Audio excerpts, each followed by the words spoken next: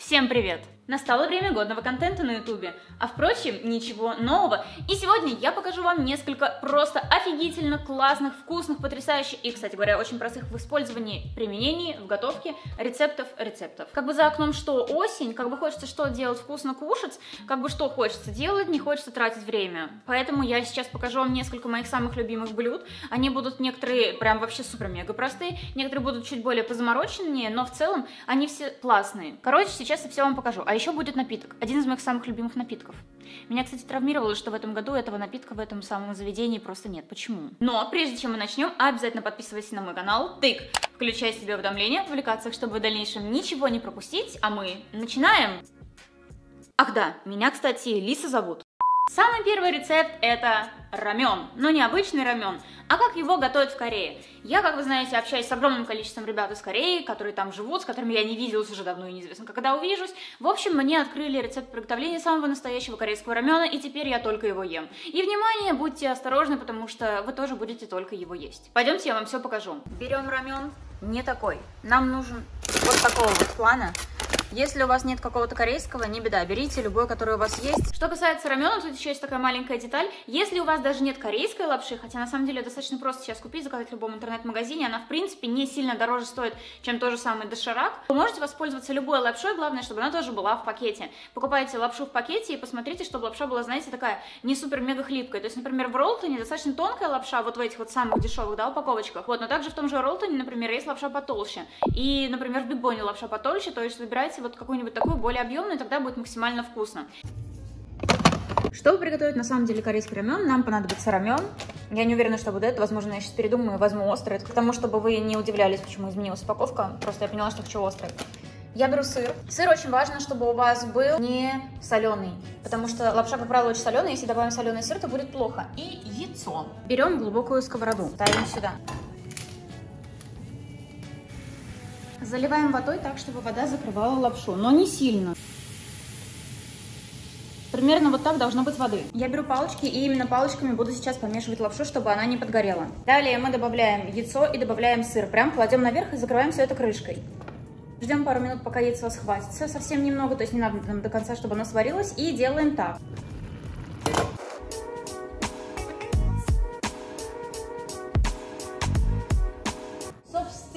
Наш корейский рамен. Это очень вкусно он получается. Единственное, что дам вам небольшой совет. Сразу, когда вы приготовите это блюдо, обязательно сразу прям помойте посуду, потому что если вдруг не сразу вы помоете, то сковородку, на которой вы это делали, то ваша сковородка будет ей печально, будет, а потом вам, потому что вам придется это отмывать. Вы себе просто не представляете, насколько это вкусно. Боже мой, просто.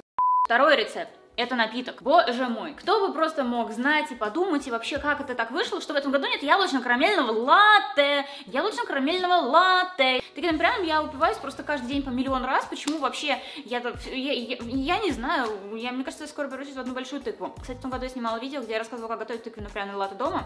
Сегодня мы с вами будем готовить яблочно-карамельную латте. Поверьте, ребята, это просто урыв. Готовится мега просто, пойдемте я вам все покажу, вам даже много ничего не нужно.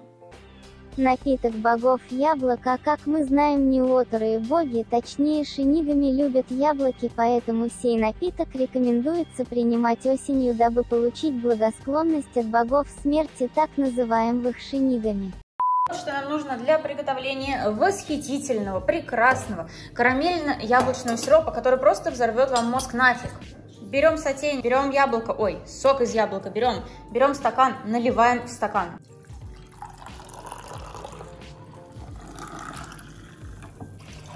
Если пролили, а в моем случае так, ребята, вытираем свой весь срач.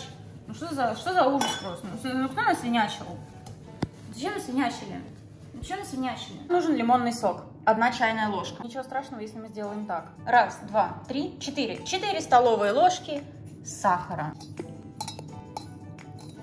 В зависимости от того, сколько вы любите корицы и любите ли вы вообще, сыпем туда я взяла половину чайной ложки. Одна столовая ложка кукурузного крахмала. Добавляем. Минутка АСМР. Размешиваем теперь элегантно. Тихо. Блин, я не знаю, что я делаю. Короче, мешаем, ребят. Добываем огонь, ну или электричество, я не знаю, что у вас там. Ставим на средний огонь и помешиваем, пока не закипит. Когда закипело, убавляем огонь на минимум и ждем того момента, пока все это не загустеет. Закипело, убавляем огонь. Пожалуйста, будьте очень осторожны, потому что это сироп, и если вдруг вы в него вляпаетесь, вам будет очень плохо, вы реально получите нефиговый ожог, поэтому, пожалуйста, осторожно готовьте такую еду. Ну все, готово, переливаем.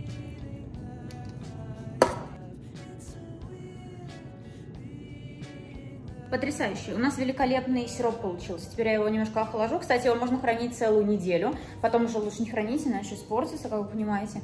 Вот, пойду сделаю кофе и попробую, и поделюсь своими впечатлениями. Ну что, делаем кофе. Делаем, делаем, делаем, делаем, делаем.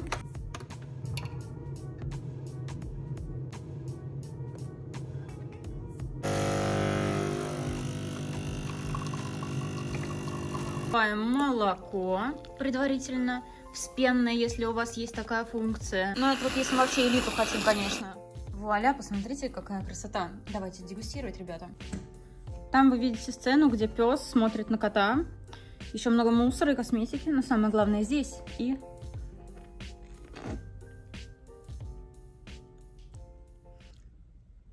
просто, просто сделайте это.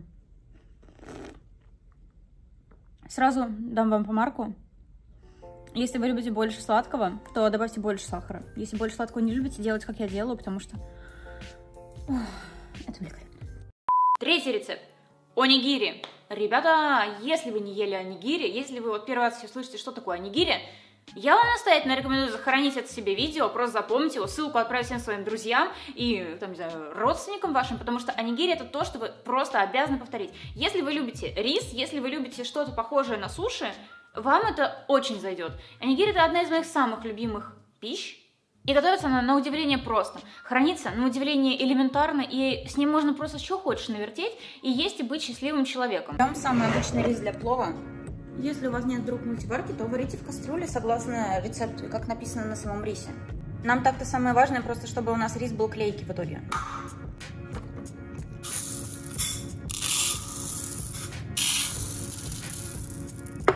Ну, ну как это могло произойти? Готовим. И, кстати говоря, есть еще такой маленький лайфхак, если вы не знаете, какой вам выбрать рис, купите самый обычный рис для плова.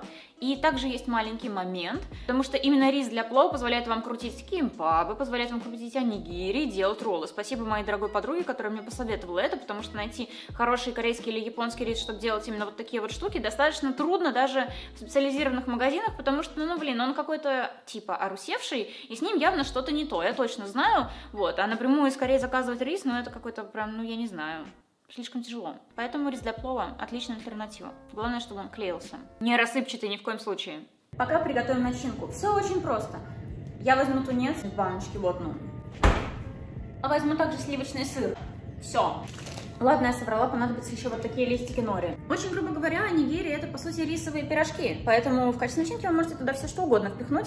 Там реально рецептов невероятно большое количество, но можно и самим что-то придумать, но тунец с сыром это великолепно. Я еще немного порежу морскую капусту и тоже добавлю сюда.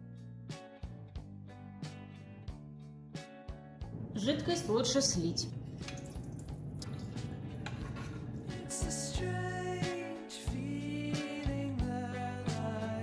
Я решила добавить еще немного васаби, потому что я нашла в холодосе сейчас васаби, я думаю, это будет очень в тему.